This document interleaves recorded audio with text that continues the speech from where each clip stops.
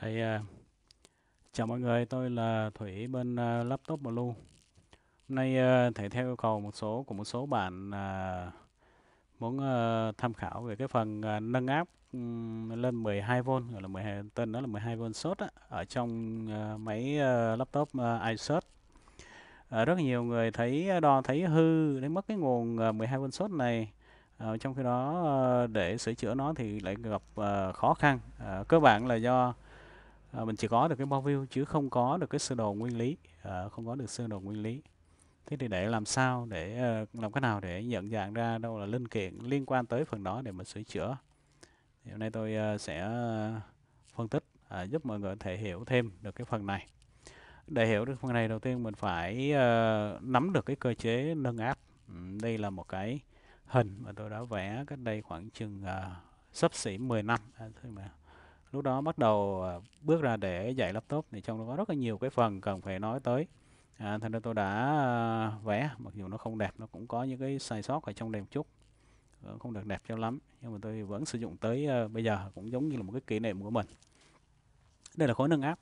Ở trong laptop thì rất là nhiều vị trí nhất là trên đeo người ta hay ghi là 15V 15V à, nhưng thực tế khi mà đo nó chỉ có 13V 8 hoặc là 12V 6 Thế tại sao chỉ có 12V8 hoặc 10, 13V8 à, hoặc 12V6? Thì trong cái phần phân tích ở trong cái lớp cơ bản tôi đã phân tích rất là rõ rồi. À, tại sao lại có con số đó? À, không bao giờ có được 15V. À. Cơ chế nâng áp rất đơn giản thôi. Về điều kiện một cái mạch như thế này, đơn giản như thế này. À, đầu vào phải bao gồm có gì xung 300 kHz và một cái điện áp 5V DC. À, phải có điều kiện như thế này. À, thì mạch nâng áp mới làm việc khi nâng áp đưa ra nó sẽ đưa ra điện áp rất là cao. Mục đích của điện áp nâng này là phùng dùng để phân cực cho những phép uh, con phép nghịch dẫn để chuyển nguồn từ nơi này tới nơi kia. Đó là những cái công tắc điện tử đó. À, điện áp này dùng để phân cực cho phép à, cho phép thường dẫn thôi. À, mà mình biết là khi phép đã phân cực cho nó dẫn rồi thì nó không cần tới không có cái dòng không cần không có dòng đỏ nghĩa không tiêu thụ điện năng trong quá trình làm việc ở trong trường hợp này. Cuối cùng người ta chỉ cần điện áp cao để phân cực chứ không cần cường độ cao nên ở khối nâng áp này thường đưa ra điện áp rất là cao nhưng cường độ dòng điện thì khoảng chừng 10 mA thôi cũng đủ để cho uh, những con phát ở trên mainboard uh, dẫn hoặc là ngưng rồi. À, thì đây là cơ chế nâng áp.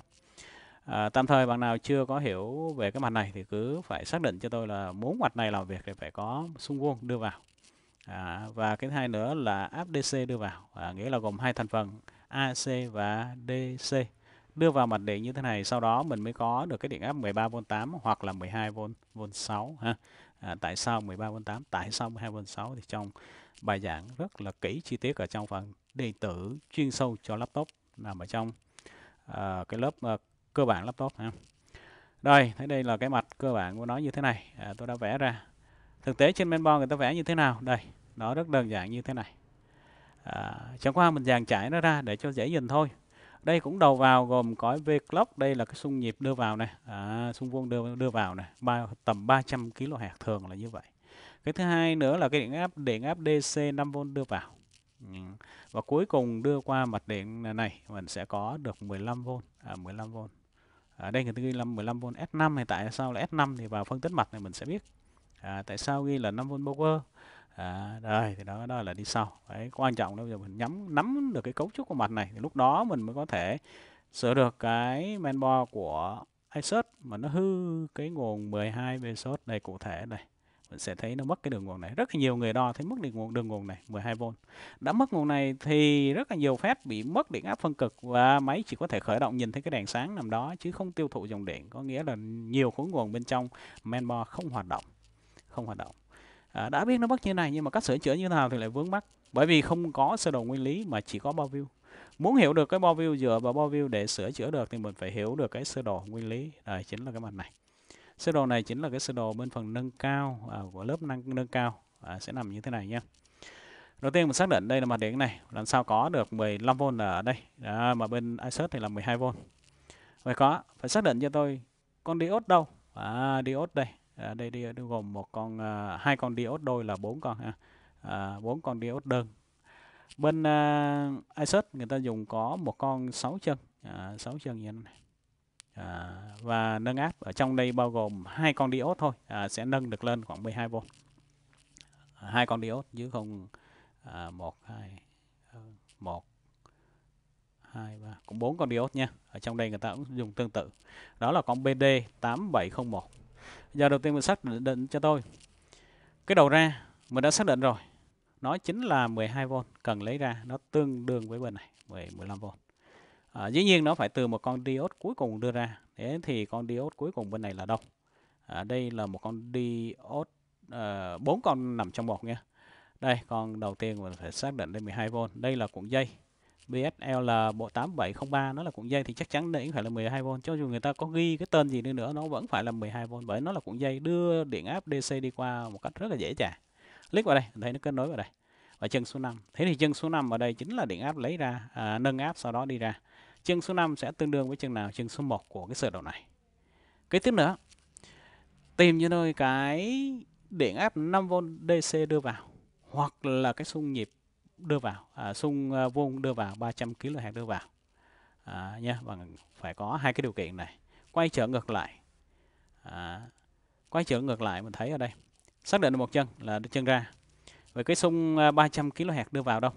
À, thì mình nhìn đây nhá qua bên này mình thấy xung 300 kHz nó đưa qua hai coi hai cái tủ để đi vào và hai con diode này hai cái tủ à, hai cái tủ.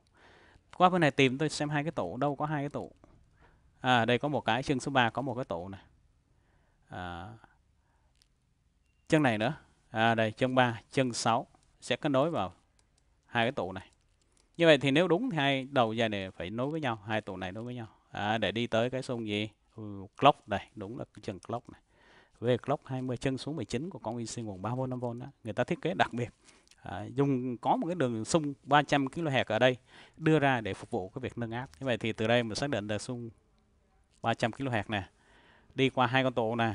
Con thứ nhất đi vào chân số 3 con thứ hai lấy xung đó đi vào chân số 6 rồi mình đã xác định 3 6 5 bây giờ còn chân 4 chân 2 chân 1 vậy thì chân nào là chân đưa 5V đưa vào thì rất đơn giản thôi.